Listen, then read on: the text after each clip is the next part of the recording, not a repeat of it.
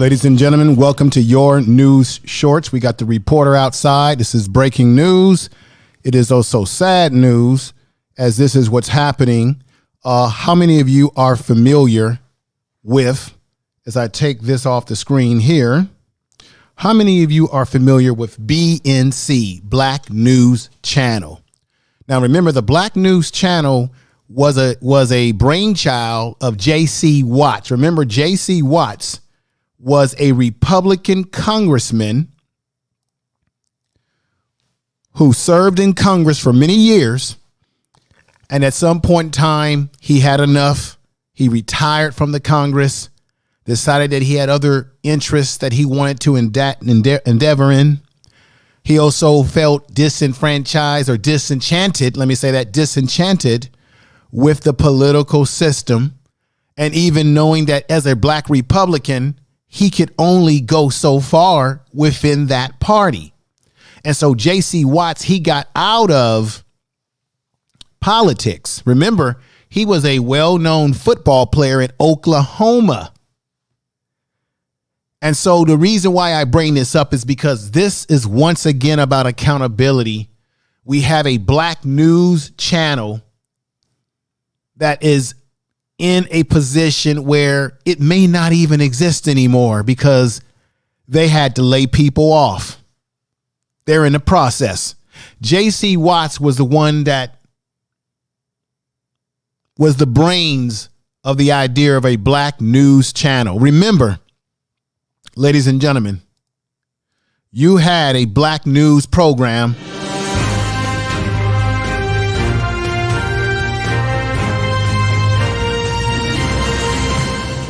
All right, ladies and gentlemen, welcome to your news short again. I am your host, Information Man of the Information Man Show. Make sure you subscribe to that YouTube channel.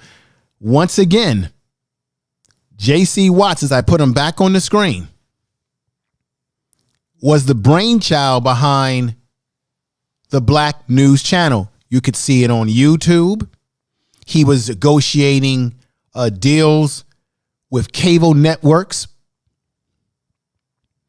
when he went into this venture, he had to have a investment partner. And see, this is the issue right here. Black people, we can never have something that we own outright.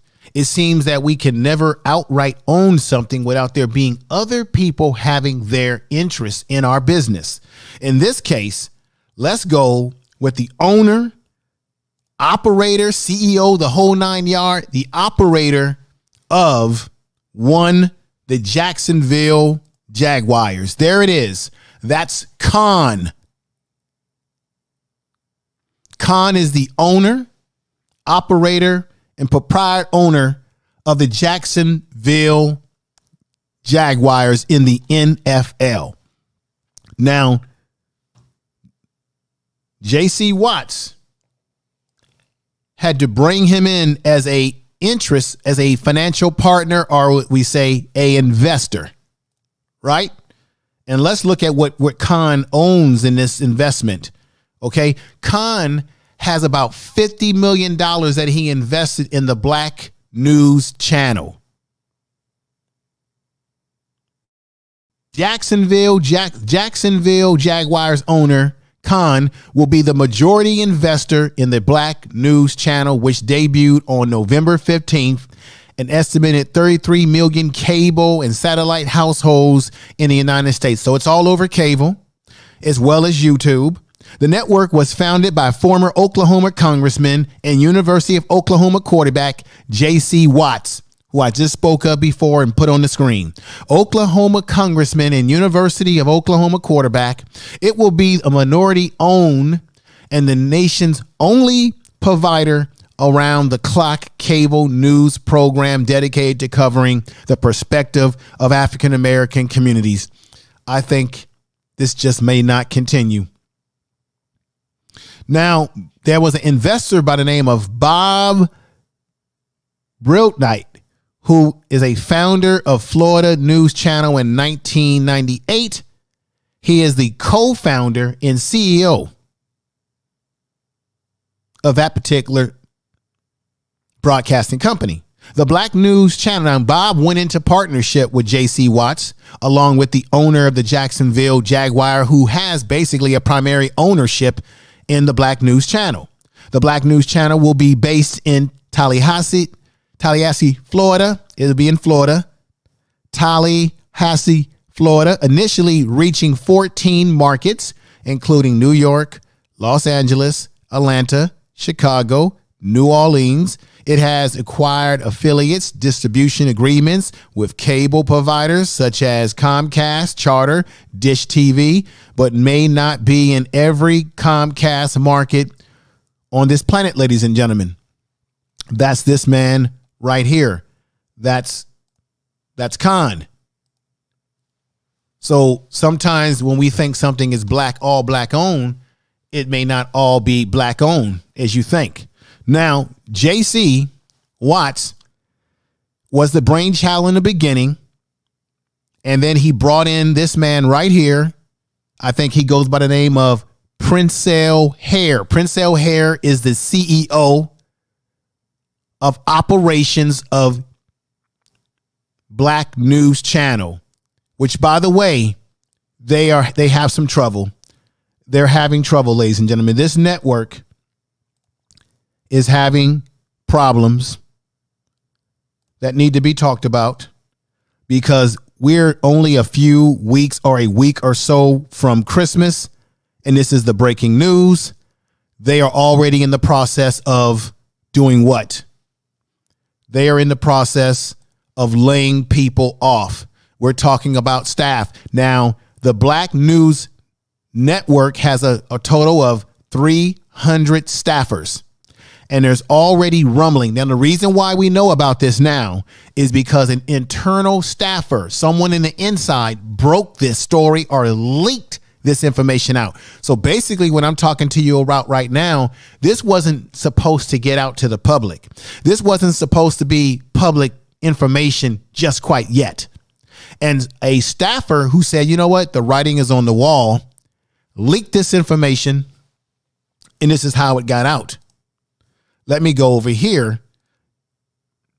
Black News Channel, which is known as BNC, announced layoffs just this past Friday, just days before Christmas holiday.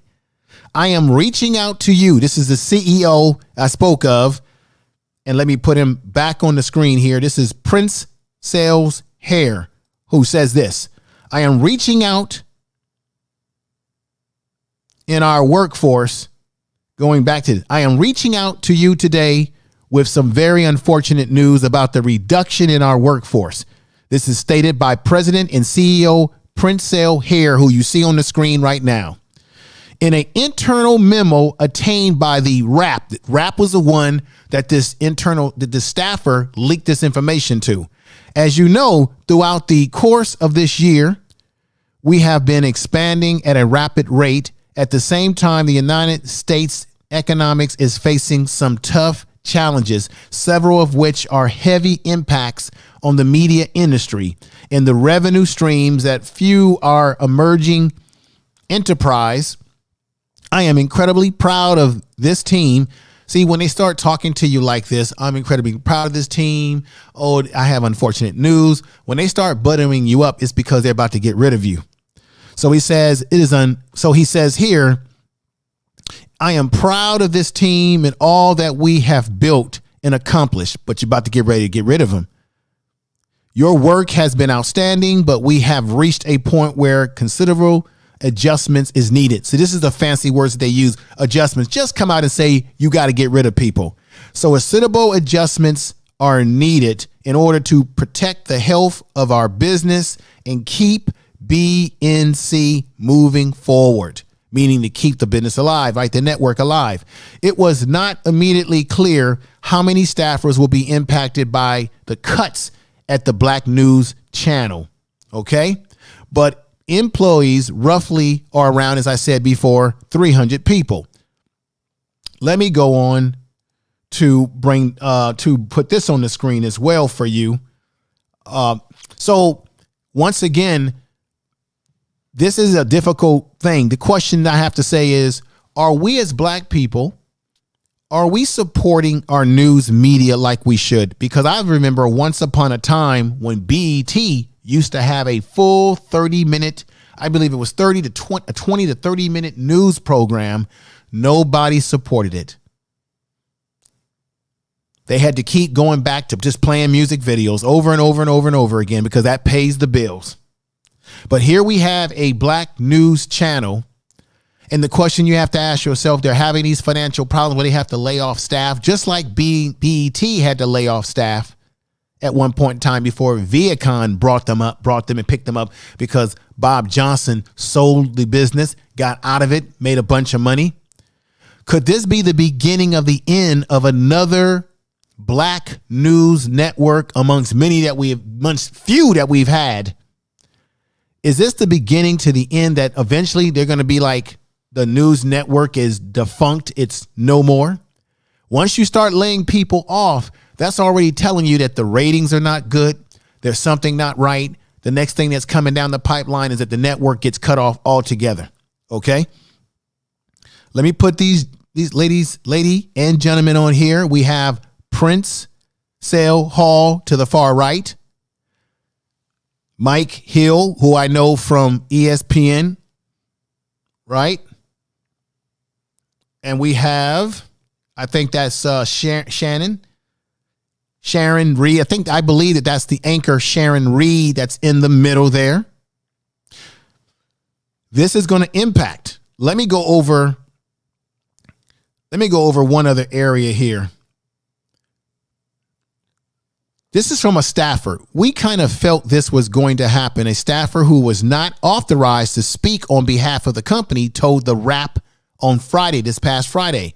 All 124 cable channels ranked by average viewership in 20 check this out check this out in a rating rank in, in a ratings ranking of 124 cable channels in 2021 the black news channel tied with with comedy tv for second to last place with an average of 14,000 views do you understand how poor that is? 14,000 views. Some of us on YouTube can get more views than that. Throughout the year, beating only be beIN Sports. Now, beIN Sports, I'm familiar with beIN Sports because beIN Sports is a soccer international sports channel where they show a lot of soccer and cricket and all these sort of things like that. International soccer in the world. All right. In comparison to the highest ratings cable channel out of all 124 is Fox News, which averages 2.36 million primetime views each evening in 2021. Many employees agree that ratings could have been better handled and, and dealt with in the networks in the way the network spent the money. And they're saying that the Black News Channel did not market properly. They did a poor job of marketing and letting people know that one, A, they exist, and two, where you can find them.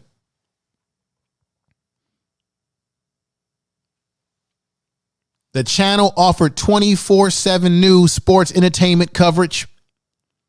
The Tallahassee, Florida based network is available in more than 50 million U.S. homes via systems, networks, and websites, and of course, YouTube. But yet they could not muster up enough views. Their ranking was very, very poor. And you got to say, who's to blame for this? Is the blame just simply that the network didn't market themselves properly, didn't handle their product property prop properly? Excuse me. Or is it that black people just weren't, some black people weren't filling the production value. Or we just don't want to get news. We would rather be entertained by music, rappers, hip hop, the whole nine yard. And is it just that the network isn't engaged in drama? Is it because we're only attracted to the car crash that we only want to watch the news that's about drama? I don't know. But I will say this to people on YouTube. is that this is the reason why it is important for us to have a voice and put our content out there on social media because we don't have many, if at all, any black, real black news networks. We have this particular news network that looks like it's not able to maintain its staffing. And this is why those of us on YouTube, we are very important because we need to fill that void when you have black news channels that may be going out the door, if not now, sometime soon. Former Oklahoma Republican Congressman J.C. Watts and veteran broadcaster. Look, I went over this before. Khan, I say again, who is the owner of the Jacksonville Jaguars, he owns a heavy stake in this franchise. Khan, this man you see on the screen right here, he has about a reportedly 50 million investment in the channel, and now he holds a majority stake. So you can't really say that the Black News Channel, that was first brainchild by this brother right here, Republican conservative J.C. Watts, you can't necessarily say that it's black owned. You got to say that it's owned by Khan, and I think Khan might be uh, Middle Eastern. He ain't black. Now we know that. among the network's main anchors, and let me put this back up here again. Amongst the network's main anchors, we got Sharon Reed, who I believe is who you see right in the middle. We got Mike Hill, who I believe you see to the left side. We got Levon McGee, Dale Waters, and we got Marc Lamont Hill. You all know who Marc Lamont Hill is. He got into that big back and forth argument with uh, Joe, uh, Judge Joe Brown, and then he had he was the one that pondered that thought about oh uh, Dylann Roof shouldn't get the um, the death penalty because it would not change the death penalty. It would not change anything when other when black men are the ones that are being uh, taken out of here by the death penalty.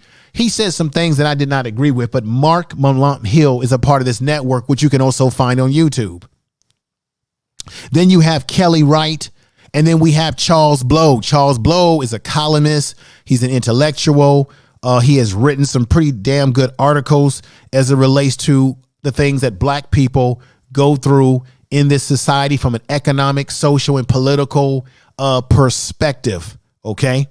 BNC did not immediately respond to the Wrap request for comment on the number of employees they'll be planning to lay off. But the bottom line is, folks, as this has been the breaking news.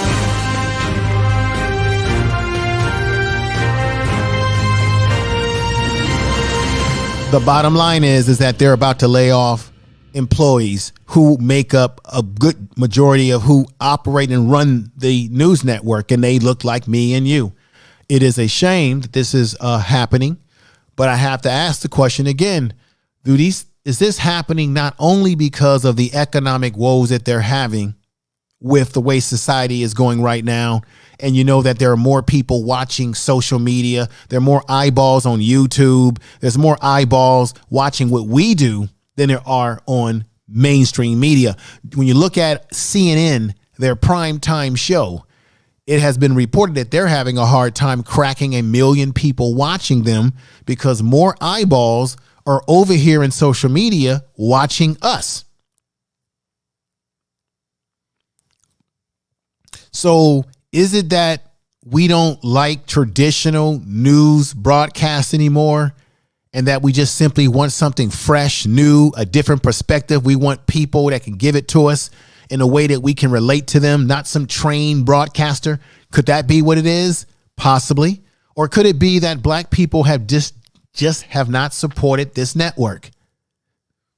Or could it be what the staff insider said is that the organization itself has poorly, fistfully, poorly managed their money in terms of proper marketing of the network and getting it off the ground in that way. Could that be? I think it's a little bit of everything. I think it's poor management, poor production value, possibly, the way they're marketing it. It may be poor support by those that look like me and you, those that are listening that look like me. It could be maybe the cable companies are marginalizing, underestimating, and undervaluing the black news channel. Maybe the cable providers are putting it in a spots in time in, a, in time zones that are poor. Meaning, what I'm saying by this is maybe the black news channel is coming on at a time that does not allow them to get the views that they need. Maybe the cable networks are doing a bad job of placing the black news channel where it needs to be to be able to flourish. So we need to keep an eye on this because there's a chance that the black news channel may not last further. If they're already laying people off, there's a chance that they might need they might end up folding. We'll have to see because Khan, the owner of the Jacksonville Jaguars, I'm sure that he is not looking to lose money on his investment. He might just pull out himself and say, you know what? I've already lost $50 million on this investment. I'm not investing anymore. Or if he owns it outright, he could take it over and change it to something else. He might decide that, you know what, this black news concept ain't working. I'm going to take this network and turn it into something else because the black news is not working. He might do that because he has majority stake in the black news work news channel. I don't even know why we can even call it that at this point in time. If he has the majority stake in the business, I don't know. I'm at 22 seconds and 30 minutes. So that means this news short is coming to an end. That's the whole point over here to give you the information quickly, rapidly, within a short amount of time, and then in the stream. And then I could possibly come back within an hour, two hours, depending on the story. But before I go, let me bring up this break, these other breaking news stories. I was going to do individual videos on this, but I figured let me just talk about it right now. Here's the breaking news.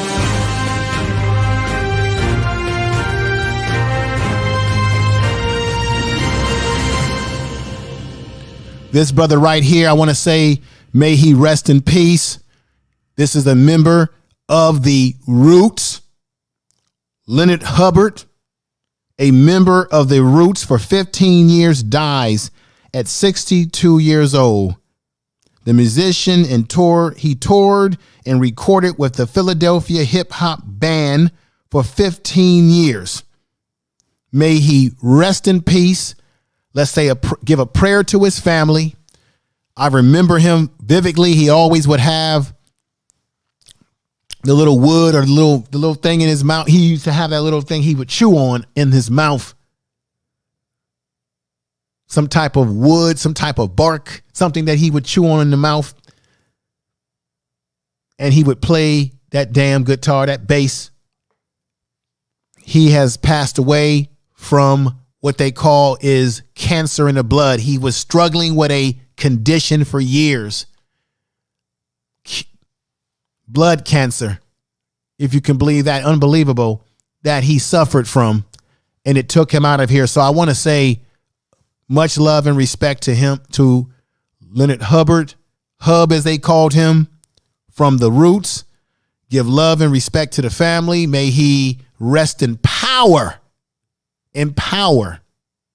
I hate to see this brother go. I really, I really do. And also, this was hot off the wire.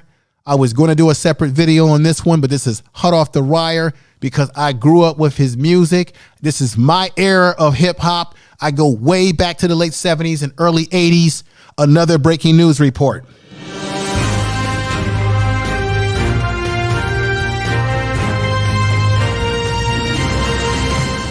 Kangol Kid. Kangol Kid is another brother, hip hop pioneer, U2, UTFO. Back in the day, he was a known break dancer, rapper, the whole nine yard. This brother represents what hip hop was really all about. What y'all know about UTFO?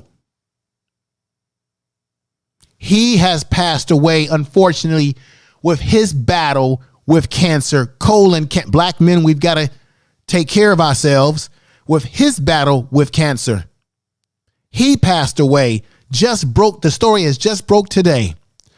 I believe he was 55 years old. Give him some love and respect. Give him love and respect. He was a pioneer in hip hop. I loved his style of hip hop. In those days, nobody was walking around with their pants below their butt. Back in the day, when brothers were rapping, they were into wearing their clothes. They were into wearing, carrying themselves. Yeah, they had some hip hop fashion back then, but nobody had their pants below their you know what's. Brothers were into wearing their clothing. The reason why he got the name Kangol Kid, it should be pretty obvious to you all, is because he was known for wearing the Kangol hat, which you see on his head right now. So he has passed away. Give prayers to his family, his loved ones. May he rest in power as well. Brother Leonard Hubbard of The Roots, in the, as a band member, he has passed away, unfortunately give him some love and respect as well. That is one of the breaking news.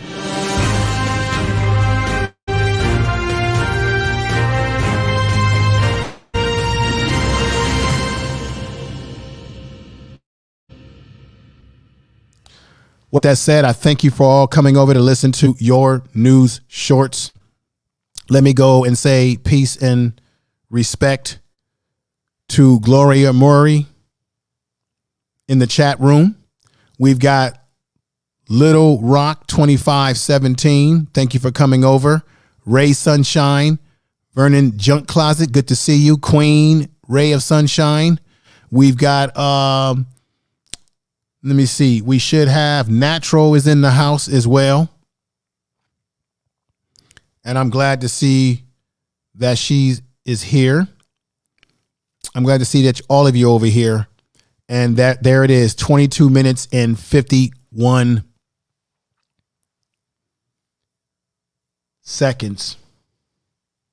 And i'm about to i'm about to put it into this news short so that's the news shorts. The black news channel is laying people off just before christmas. What a bad time for people to be laid off from work. Uh, i feel for the people that are going to lose their jobs and I also think that the news channel may but potentially be looking at going defunct if not for the owner Khan, who got majority stake. He might decide to just take it over and change it into something else. Who knows what's going to happen? But we're going to keep our eyes on this. And also those breaking two stories that I gave you about the passing of two pioneers in a rap game. Uh, give, give their family your prayers. So with that said, this is your host, Information Man and you've been listening to your news shorts.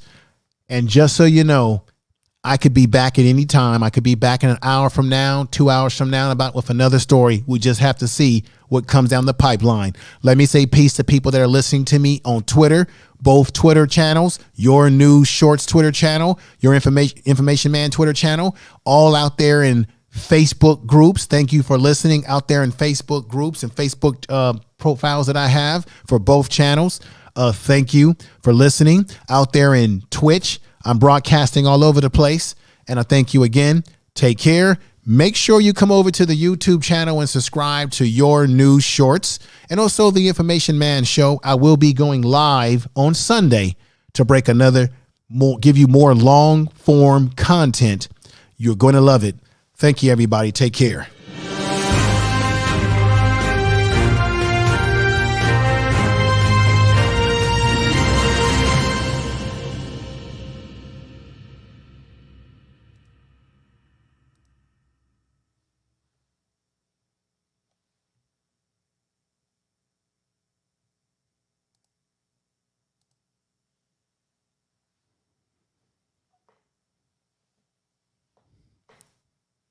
Peace to P Money and Victoriously is in the house.